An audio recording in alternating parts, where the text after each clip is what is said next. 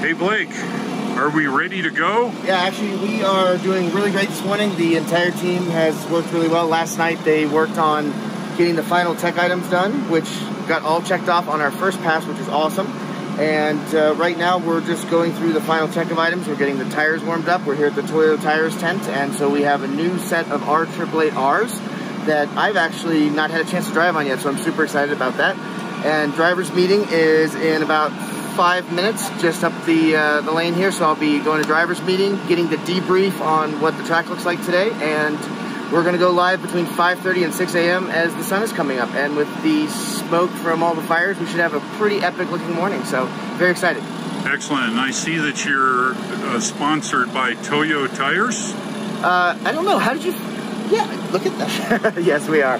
No, actually, Toyo's uh, support is huge. Just like all of our community sponsors, we wouldn't be here without them. And Toyo has provided tires for us.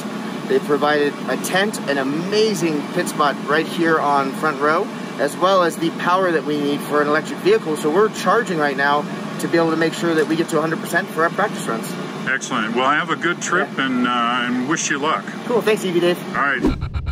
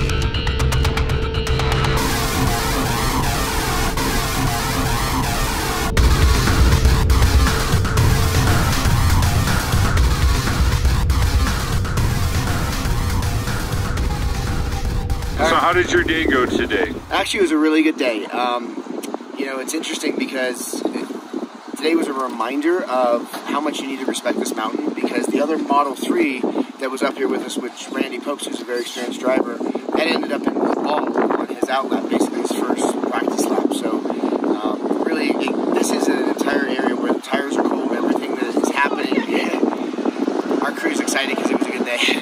Um, but basically, yeah, it, it was a really good day for us because not only did we finish with the same car with nothing damaged, but we also um, were able to get a good sense of how the suspension feels because there is a lot more damage to the road now than there was when I set the record in 2016. And that's something really to think about is that while we are trying to compare the Model 3 to the Model S, it is scientifically impossible in body speaking because the weather's are, the weather's going to be different. But number one for today is the road was so bumpy versus in 2016 that you have to be very very careful or else the car will bounce off the mountain.